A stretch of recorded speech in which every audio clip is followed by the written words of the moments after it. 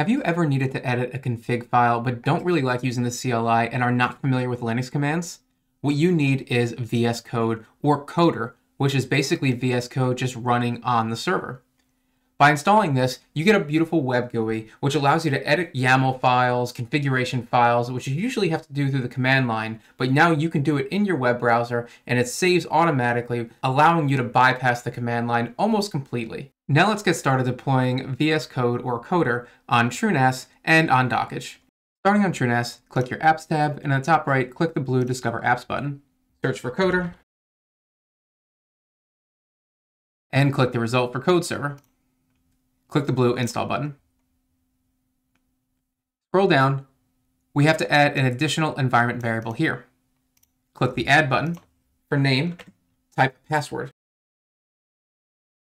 and then go ahead and give it a password. Scroll down all the way until you get to the storage configuration section and find the last part where it says code server project storage. We want to change that to host path and then pick the name of your pool here. In this case, mine is just Mount Tank. Scroll all the way to the bottom and hit install.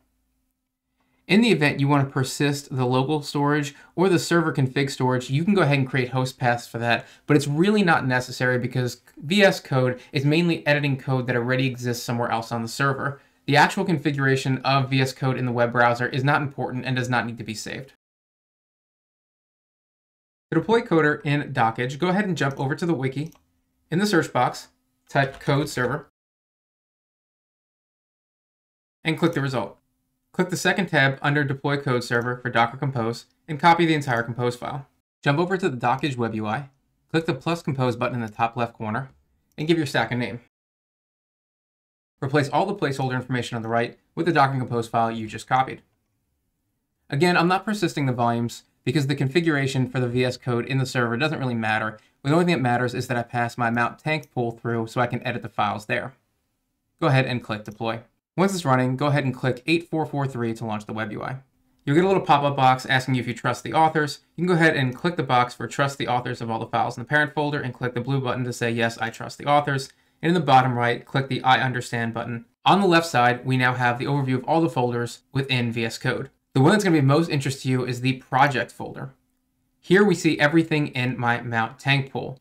Within all of these are the configuration files for everything I've deployed. If I wanted to edit my stacks directory without going through the Dockge interface, I can do that here.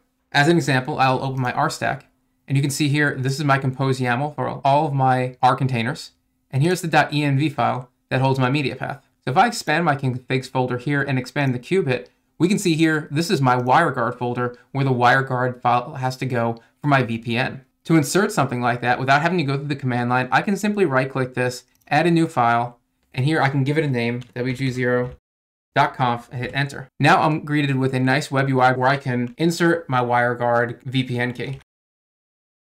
I'm just going to type insert VPN key here and hit Control S to save. Now to show you guys that this has worked, I'm going to jump back to TrueNAS, go into my shell, and I'm going to navigate to that file that I just added for my WG0.conf. Here we can see my WG0.conf file. When I show you what's inside, we can see here that it says insert VPN key here. It's a little messy because it's in the shell, but that's exactly why Code Server is so great.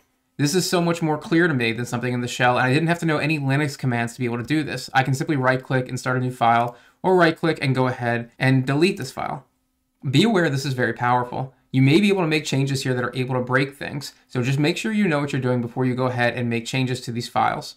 Thank you guys so much for watching this video. If you like the idea of editing your code and your files in something like VS Code versus in the command line, let me know below in the comments and why you think this is a better way to do it. If you like this video, make sure to give us a thumbs up and make sure to subscribe to the channel to get all the latest updates on the videos that we release. In the event you want to see a video, make sure you're on our Discord server so you can vote on the weekends for the videos that get released on Wednesdays.